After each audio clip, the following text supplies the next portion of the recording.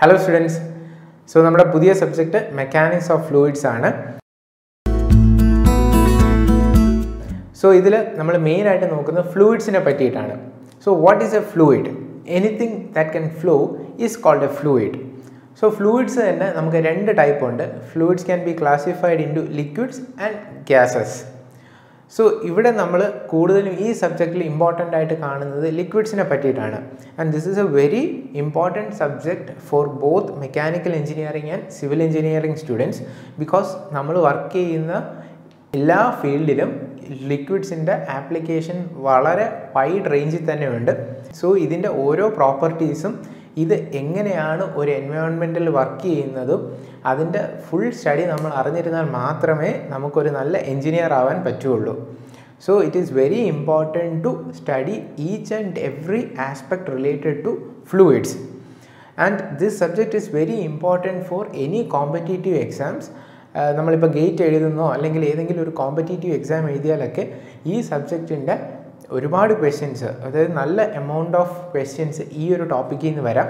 So it is very important to understand the concept related to this subject so ഇത് അങ്ങനെ മനസ്സിലാക്കി പഠിച്ചു കഴിഞ്ഞാൽ വെരി ഇൻട്രസ്റ്റിംഗ് ആയിട്ടുള്ള ഒരു സബ്ജക്റ്റാണ് സോ നമുക്ക് സബ്ജക്റ്റിന്റെ ഓരോ കണ്ടന്റിലായിട്ട് നോക്കി പോവാം.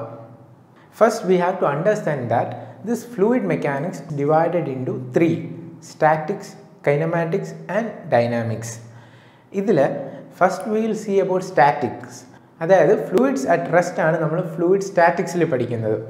ആൻഡ് ഫ്ലൂയിഡ് ഇൻ മോഷനിൽ നമ്മൾ സ്റ്റഡി നടത്തുന്നതാണ് ബോത്ത് കൈനമാറ്റിക്സ് ആൻഡ് ഡൈനാമിക്സ് അപ്പോൾ ഇതിൽ ഈ കൈനമാറ്റിക്സും ഡൈനാമിക്സും തമ്മിലുള്ള സ്മോൾ ഡിഫറൻസ് ആണ്. In kinematics we will not consider the forces causing the motion and in dynamics will consider the forces causing the motion ഇത് മൂന്നും ഡീറ്റെയിൽ ആയിട്ട് കാണുമ്പോൾ നമുക്ക് മനസ്സിലാക്കാം.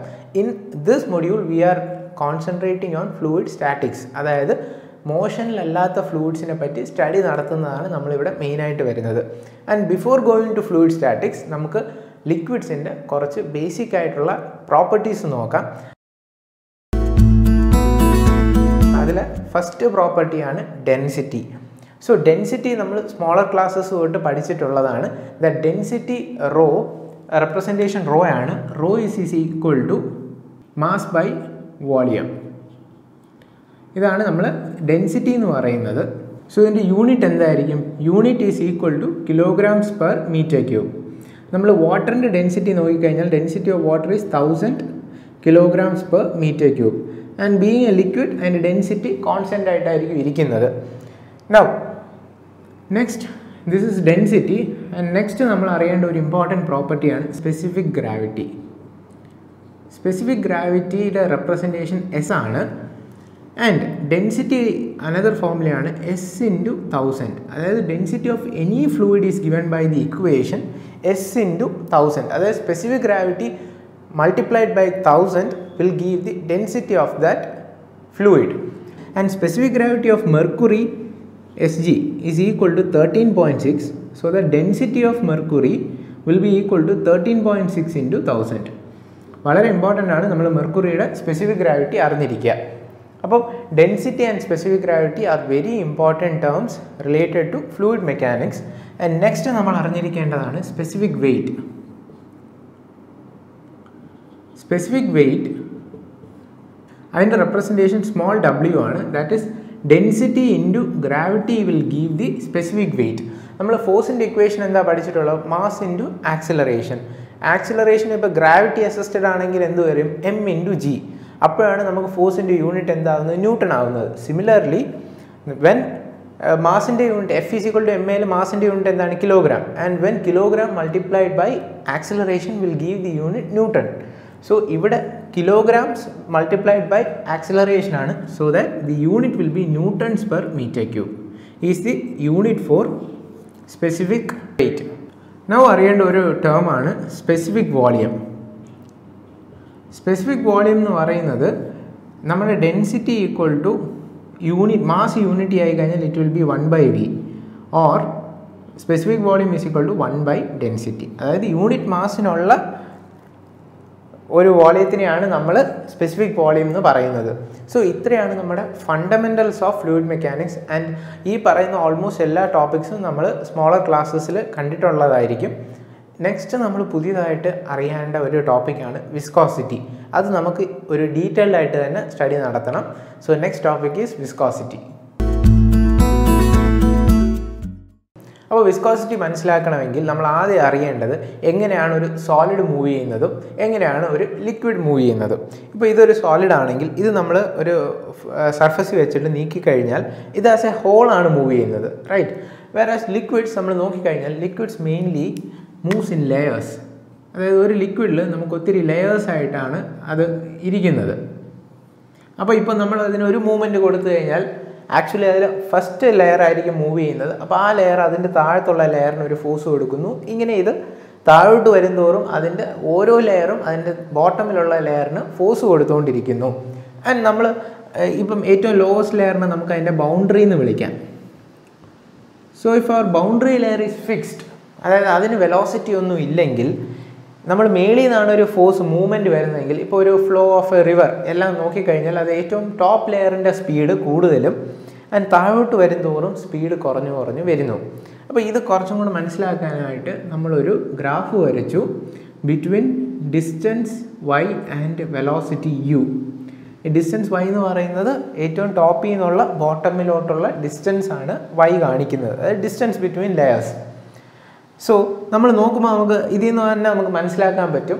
ആ റിവറിന്റെ എക്സാമ്പിൾ എടുത്തു കഴിഞ്ഞാൽ ഏറ്റവും ലോവസ്റ്റ് ലെയറിന്റെ വെലോസിറ്റി എന്തായിരിക്കും? Will be equal to the boundary layer velocity and if boundary is fixed it will be zero so ഇവിടെ നിന്ന് സ്റ്റാർട്ട് ചെയ്ത് കഴിഞ്ഞാൽ velocity increases as as height increases and the top most layer will have the maximum velocity so ഇവിടെ നമ്മളത് വരച്ചു കഴിഞ്ഞാൽ ഇങ്ങനെയായിരിക്കും നമുക്ക് കിട്ടുന്ന ഗ്രാഫ് അപ്പോൾ for a small distance D Y D Y എന്ന് പറയുന്നത് ഡിസ്റ്റൻസ് ഡി വൈ ഇപ്പോൾ ഡി വൈ എന്ന് പറയുന്ന ഡിസ്റ്റൻസ് ഏതാണ്? ഈ രണ്ട് ലെയർ തമ്മിലുള്ള സ്മോൾ ഡിസ്റ്റൻസ് ഡി വൈ എടുത്തു കഴിഞ്ഞാൽ ഈ രണ്ട് ലെയറിനിടയ്ക്ക് ഒരു വെലോസിറ്റി ഡിഫറൻസ് വന്നു. And that velocity difference is D U അതായത് ഏറ്റവും രണ്ട് ലെയർ വെലോസിറ്റി രണ്ട് ലെയേഴ്സ് തമ്മിലുള്ള വെലോസിറ്റി ഡിസ്റ്റൻസ് ഡിഫറൻസ് ആണ് ഡി യു എന്ന് പറയുന്നത് for a height D Y അപ്പം ഇങ്ങനെ രണ്ട് ലെയേഴ്സ് തമ്മിൽ ഡിഫറൻസ് ഇൻ വെലോസിറ്റി വന്നു കഴിഞ്ഞാൽ നമ്മൾ മെക്കാനിക്സ് ഓഫ് സോളിഡ്സ് പഠിക്കുന്നുണ്ട്. And we studied a term call shear stress അതായത് രണ്ട് ലെയേഴ്സ് തമ്മിൽ ഡിഫറൻസ് വന്ന് രണ്ട് രണ്ട് സൈ രണ്ട് ഡിഫറെന്റ് സ്പീഡ്സിൽ പോയി കഴിഞ്ഞാൽ അവിടെ ഒരു ഷിയറിങ് എഫക്റ്റ് ഉണ്ടാകുന്നു and there it will develop a shear stress and Newton who studied this formulated one law that is called Newton's law of viscosity. And ഈ ലോയിൽ പറയുന്നത് ഇപ്പം ഈ രണ്ട് ലെയർ തമ്മിൽ ഒരു ഡിഫറൻസ് ഇൻ വെലോസിറ്റി ഉള്ളത് കാരണം അവിടെ ഒരു ഷിയർ സ്ട്രെസ് ടോ ഉണ്ടായി which will be equal to the velocity gradient velocity gradient എന്ന് പറയുന്നത് എന്തായിരിക്കും? D U by D Y it will be proportional directly proportional to the velocity gradient or this shear stress is proportional to ഇതിനെ നമ്മൾ shear strain എന്നും പറയും. അപ്പോൾ Newton's law of viscosity പറഞ്ഞ എന്താണ്? The shear stress directly proportional to the shear strain or velocity gradient d u by d y so ഇവിടെ നമുക്കൊരു proportionality symbol വന്നു. സോ ഇത് മാറ്റാനായിട്ട് we multiplied it with a constant called mu into d u by d y where this proportionality constant mu is called coefficient of viscosity. Or dynamic viscosity. Or simply viscosity എന്ന് പറയുന്നതെല്ലാം നമ്മുടെ ഈ mu ആണ്. So ഏറ്റവും important ആയിട്ട് fluid മെക്കാനിക്സിലോ അല്ലെങ്കിൽ mechanics of fluids നമ്മൾ പഠിക്കുമ്പോൾ we need to know the unit of each and every component സാധാരണ ക്വസ്റ്റ്യൻ പേപ്പറിൽ നമ്മൾ നോക്കിക്കഴിഞ്ഞാൽ ഒന്നിന്റെ കറക്റ്റ് ഡയറക്റ്റ് യൂണിറ്റ് നമുക്ക് തരില്ല. അപ്പോൾ നമ്മൾ ഏത് പ്രോബ്ലം എന്തായാലും പ്രോബ്ലം ചോദിക്കും. അപ്പോൾ പ്രോബ്ലം ചോദിക്കുന്ന സമയത്ത് നമുക്ക് കറക്റ്റ് യൂണിറ്റിലോട്ട് കൺവേർട്ട് ചെയ്യാൻ അറിയത്തില്ലെങ്കിൽ ആ എന്റയർ പ്രോബ്ലം നമുക്ക് തെറ്റായിട്ടായിരിക്കും കിട്ടുന്നത്. So it is very important to know the correct units for every component so ആദ്യം നമുക്ക് ഈ ഒരു ഇക്വേഷനാണ് നമ്മൾ ഫസ്റ്റ് ഇപ്പോൾ മെക്കാനിക്സിൽ ഫ്ലൂയിഡ് മെക്കാനിക്സിൽ പഠിച്ചത്. അപ്പം ഇതിന്റെ ഓരോരോ ടേംസിന്റെയും യൂണിറ്റ് എന്താണെന്ന് നമുക്ക് നോക്കാം. ടോ ടോ മീൻസ് എന്താണ്? Shear stress. ഷിയർ സ്ട്രെസ് എന്ന് പറയുന്നത് എന്താണ്? Force by area. ഇതും വെരി ഇമ്പോർട്ടന്റ് ആണ് അറിഞ്ഞിരിക്കുക. കാര്യം ക്വസ്റ്റ്യനിൽ നമുക്ക് ഫോഴ്സും തരും ആ പ്ലേറ്റിന്റെ ഏരിയയും തരും. നമ്മൾ ഷിയർ സ്ട്രെസ് എങ്ങനെ കണ്ടുപിടിക്കുക? Force by area. So its unit will be newton per metre square next is d u d u എന്ന് പറയുന്നത് ചേഞ്ച് ഇൻ വെലോസിറ്റി ആണ്. വെലോസിറ്റിയുടെ യൂണിറ്റ് എന്താണ്? Metre per second so velocity is metre per second and d y is distance so d y will be metre അപ്പോൾ നമുക്ക് പുതിയൊരു term വന്നു ഈ ഇക്വേഷനിൽ മ്യൂ അതിന്റെ യൂണിറ്റ് നമുക്കറിയില്ല. അങ്ങനെ വന്നു കഴിഞ്ഞാൽ നമ്മൾ മ്യൂവിന്റെ യൂണിറ്റ് കണ്ടുപിടിക്കും ബാക്കി അറിയാവുന്ന യൂണിറ്റ്സ് എല്ലാം സബ്സ്റ്റിറ്റ്യൂട്ട് ചെയ്യുക. Very simple method so newton per metre square instead of tau is equal to mu into metre per second divided by metre metre metre cancel second മേളിൽ പോകുമ്പോൾ മ്യൂവിന്റെ unit will get it as newton seconds per metre square ഇതിന്റെ വേറൊരു യൂണിറ്റി നമ്മൾ പറയുന്നതാണ് it is given in poise so അപ്പോൾ എപ്പോഴും question പേപ്പറിൽ നമുക്ക് തരുന്നതും മിക്കവാറും പോയ്സിലായിരിക്കും so we need to know the conversion of കാര്യം നമ്മൾ ഇക്വേഷൻ സബ്സ്റ്റിറ്റ്യൂട്ട് ചെയ്യുമ്പോൾ ഈ ഇക്വേഷനിലൊന്നും നമുക്ക് പോയ്സിൽ സബ്സ്റ്റിറ്റ്യൂട്ട് ചെയ്യാൻ പറ്റില്ല. ബിക്കോസ് ഇതും ഇതും എല്ലാം എസ് ഐ യൂണിറ്റ്സിൽ എടുക്കുമ്പോൾ ഇത് മാത്രം വേറെ യൂണിറ്റ് നമുക്ക് എടുക്കാൻ പറ്റാത്തത് കൊണ്ട് we need to convert this poise to newton seconds per metre square so അറിയുക one poise is equal to point one newton seconds per metre square so ഇത് വളരെ ഇമ്പോർട്ടന്റ് സ്റ്റഡിയാണ് സോ വിസ്കോസിറ്റി എന്തെന്നും അതിന്റെ യൂണിറ്റ്സ് എന്തെന്നും this newton's law of viscosity is very important so ഇനി നമ്മൾ അറിയേണ്ട ഒരു പുതിയ വിസ്കോസിറ്റിയുടെ ടേമാണ് കൈനമാറ്റിക് വിസ്കോസിറ്റി സോ ഈ വിസ്കോസിറ്റിയെ തന്നെ നമുക്ക് രണ്ടായിട്ട് ക്ലാസിഫൈ ചെയ്യാം. Which is dynamic viscosity and kinematic viscosity ഈ കൈനമാറ്റിക് വിസ്കോസിറ്റിയുടെ റെപ്രസെന്റേഷൻ ന്യൂ ആണ്. Nu is equal to mu by rho very simple അതായത് ന്യൂ എന്ന് പറയുന്നതാണ് നമ്മുടെ kinematic വിസ്കോസിറ്റിയുടെ representation and it is given by mu by rho where mu is our dynamic viscosity divided by density അപ്പോൾ നമുക്ക് എന്ത് കിട്ടും? New എന്ന് പറയുന്ന ടേം കിട്ടും. ആൻഡ് ഇതിന്റെ എസ് ഐ യൂണിറ്റ് ആണ് metre square per second and C G S യൂണിറ്റിൽ നമ്മൾ നേരത്തെ ഇതിൽ പോയിസ് പറഞ്ഞ പോലെ കൈനമാറ്റിക് വിസ്കോസിറ്റിയുടെ സി ജി എസ് യൂണിറ്റ് ആണ് സ്റ്റോക്ക് ഓർ വൺ സ്റ്റോക്ക് എന്ന് പറയുന്നത് one centimetre square per second ആണ്. ഇത് നമുക്ക് പ്രോബ്ലത്തിൽ വലുതായിട്ട് യൂസ് വരില്ല ബട്ട് നമ്മൾ ഹയർ ക്ലാസ്സസിലോട്ട് പോകുന്ന സമയത്ത് നമുക്ക് ഈ സ്റ്റോക്ക് എന്ന് പറയുന്ന യൂണിറ്റിനെ കൗണ്ടർ ചെയ്യേണ്ടി വരും. സോ അറിഞ്ഞിരിക്കുക viscosity is classified into dynamic viscosity and kinematic viscosity അതിന്റെ ഇത്രയും കാര്യങ്ങൾ അറിഞ്ഞിരിക്കുക. See one problem related to viscosity this is very simple problem. And നമ്മൾ ഇപ്പോൾ ഇത്രയും വിസ്കോസിറ്റി പഠിച്ചപ്പോഴും യു മൈറ്റ് ബി തിങ്കിങ് ഇതിന്റെ ആപ്ലിക്കേഷൻ എവിടെയാണ്? നമ്മൾ ഇത്രയും നാൾ പഠിക്കുന്നതെല്ലാം നമ്മളിത് തോട്ട് പ്രോസസ്സിലാണ് ഇരിക്കുന്നത്. ഇതൊക്കെ എവിടെ യൂസ് ചെയ്യുന്നു? എന്തിനാണ് ഇതൊക്കെ പഠിക്കുന്നത്? സോ ഇത് വരുന്ന ഒരു സ്മോൾ ആപ്ലിക്കേഷൻ ഞാൻ പറഞ്ഞുതരാം. അതായത് ഇപ്പോൾ നമ്മൾ ഈ എസ്കലേറ്റേഴ്സൊക്കെ സ്റ്റെപ്പ് കയറി പോകാൻ നമ്മൾ യൂസ് ചെയ്യുന്നുണ്ട്. സോ തിങ്ക് അബൌട്ട് ഇറ്റ് ഇത് ഒരു ഫ്ലാറ്റ് പ്ലേറ്റിന്റെ മേളിൽ വലിച്ചുകൊണ്ടായിരിക്കും നമ്മൾ ഇത് പോകുന്നത്. അപ്പം സപ്പോസ് ഇത് രണ്ടും തമ്മിൽ ഒരു ഇടയിൽ ഒരു മീഡിയം ഒന്നും ഇല്ലാണ്ട് ഈ സ കണ്ടിന്യൂസ്ലി ഇതൊരു സർഫസിന്റെ പുറത്തൂടെ റബ്ബിങ് ആക്ഷൻ നടന്നുകൊണ്ടിരുന്നു കഴിഞ്ഞാൽ വാട്ട് വിൽ ഹാപ്പൻ കുറേ സമയം ഇത് ഇതിന്റെ പുറത്തൂടെ പൊക്കോണ്ടിരിക്കുന്ന സമയത്ത് ഫ്രിക്ഷൻ കാരണം അത് ഹീറ്റായി പോകാൻ ചാൻസ് ഉണ്ട്.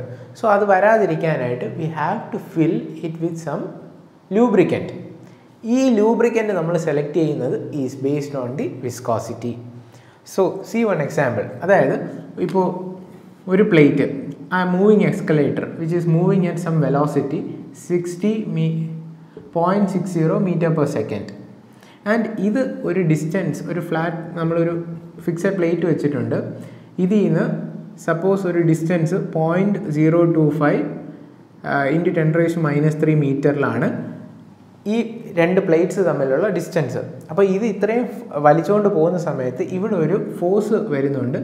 ആ ഫോഴ്സ് കാരണം two newton per metre square ഒരു യൂണിറ്റ് ഏരിയയിൽ ആക്ട് ചെയ്യുന്ന ഷിയർ സ്ട്രെസ് ആണ് two newton per metre square അപ്പോൾ നമുക്ക് ഇതിനിടയിൽ ഫില്ല് ചെയ്യാനുള്ള ഫ്ലൂയിഡിന്റെ വിസ്കോസിറ്റി മ്യൂ വാല്യൂ എത്രയാണ്? കാര്യം നമ്മൾ ലൂബ്രിക്കൻസിനെ ക്ലാസിഫൈ ചെയ്തിരിക്കുന്നത് is based on the value of this mu viscosity so ഇതിന്റെ സെയിം ക്വസ്റ്റ്യൻ ആണ് ഈ തന്നിരിക്കുന്നത്.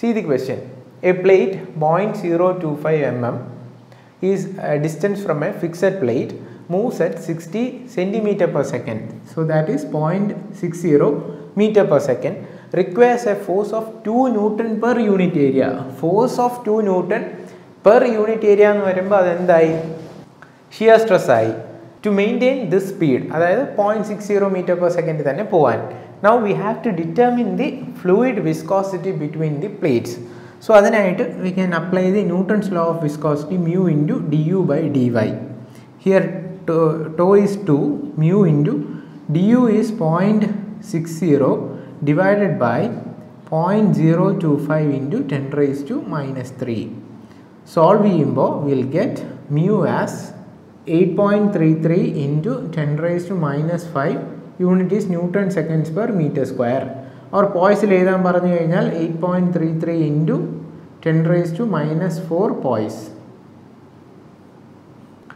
so ഇത്രയേ ഉള്ളൂ. This a very simple question but ഇതിന്റെ ആപ്ലിക്കേഷൻ എന്താണെന്ന് ഈ പ്രോബ്ലത്തിൽ കൂടെ നമുക്ക് വെരി ക്ലിയർ ആയിട്ട് മനസ്സിലാക്കാൻ പറ്റും. Next topic is classification of fluids അപ്പം നമ്മൾ ഇപ്പം വിസ്കോസിറ്റി കണ്ടായിരുന്നു. ന്യൂട്ടൺസ് ലോ ഓഫ് വിസ്കോസിറ്റി ആണ്. നമ്മൾ ഫ്ലൂയിഡ്സിന്റെ ഒരു പ്രോപ്പർട്ടി ആയിട്ട് പറയുന്നത്. അപ്പം ഐഡിയൽ ഫ്ലൂയിഡ് എന്ന് പറഞ്ഞു കഴിഞ്ഞാൽ fluid which does not have a viscosity അത് വിസ്കോസിറ്റി ഇല്ല. സപ്പോസ് ഇപ്പോൾ നമ്മളൊരു ഓയിലും ഒരു വാട്ടർ ഡ്രോപ്ലെറ്റ് ഇവിടെ വെച്ച് കഴിഞ്ഞാൽ ഓയിൽ ഡ്രോപ്ലെറ്റ് പതുക്കെ വരുള്ളൂ വാട്ടർ ഡ്രോപ്ലെറ്റ് സ്പീഡിൽ താഴോട്ട് പോകും. ബിക്കോസ് ഈ രണ്ട് ഫ്ലൂയിഡ്സിനും വിസ്കോസിറ്റി ഡിഫറെന്റ് ആണ്. അങ്ങനെ വിസ്കോസിറ്റി ഇല്ലാത്ത ഒരു ഫ്ലൂയിഡിനെയാണ് നമ്മൾ ഐഡിയൽ ഫ്ലൂയിഡ് എന്ന് പറയുന്നത്. സോ ദാറ്റ് അവിടെ ഒരു ഷിയർ സ്ട്രെസ് അത് പ്രൊഡ്യൂസ് ചെയ്യുന്നില്ല. ആൻഡ് ന്യൂട്ടൺസ് ലോ ഒബേ ചെയ്യുന്ന ഫ്ലൂയിഡ്സിനെയാണ് നമ്മൾ ന്യൂട്ടോണിയൻ ഫ്ലൂയിഡ്സ് എന്ന് പറയുന്നത്. So that tau is directly proportional to d u by d y so ആ ലൈൻ എന്തായിരിക്കും? സ്ട്രൈറ്റ് ആയിരിക്കും. And those which does not obey Newton's law of viscosity അതായത് tau directly proportional to d u by d y the whole raise to some n ഒരു exponent വന്നു കഴിഞ്ഞാൽ അതൊരു cave ആയിട്ട് അങ്ങോട്ടോ താഴോട്ടോ മേലോട്ടോ വരാം. അങ്ങനെയുള്ള ഫ്ലൂയിഡ്സിനെയാണ് നമ്മൾ നോൺ ന്യൂട്ടോണിയൻ ഫ്ലൂയിഡ്സ് എന്ന് പറയുന്നത്. And if tau is equal to a plus b into d u by d y the whole raise to n അതായത് സം ഒരു കോൺസ്റ്റന്റ് കൂടെ ഉണ്ടെങ്കിൽ ആ ഒരു ഡിസ്റ്റൻസ് കഴിഞ്ഞേ ഇത് സ്റ്റാർട്ട് ചെയ്യുള്ളൂ അങ്ങനെയുള്ള ഫ്ലൂയിഡ്സിനെയാണ് നമ്മൾ പ്ലാസ്റ്റിക് ഫ്ലൂയിഡ്സ് എന്ന് പറയുന്നത്. സോ അത് ടൈം ഡിപ്പെൻഡന്റ് ആയിട്ട് പെട്ടെന്ന് ഫ്ലോ ഒന്നും വരത്തില്ല. എക്സാമ്പിൾ നമ്മുടെ മഡ് അല്ലെങ്കിൽ പേസ്റ്റ് പേസ്റ്റൊക്കെ നമ്മൾ എവിടെയെങ്കിലും എടുത്ത് വെച്ച് കഴിഞ്ഞാൽ പേസ്റ്റ് സഡൻലി അത് താഴോട്ട് വരത്തില്ല. അത് അവിടെ സ്റ്റിക്ക് ചെയ്തിരുന്നിട്ട് ടൈം പ്രൊസീഡ്സേ വരുള്ളൂ. സോ ദാറ്റ് അതുകൊണ്ടാണ് ഒരു എ പാരാമീറ്റർ എക്സ്ട്രാ എക്സ്ട്രാ ആയിട്ട് വരുന്നത്. ഇതാണ് നമ്മുടെ ക്ലാസിഫിക്കേഷൻ ഓഫ് ഫ്ലൂയിഡ്സ്